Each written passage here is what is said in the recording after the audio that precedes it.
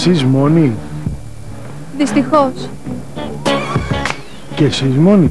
Φυσικά.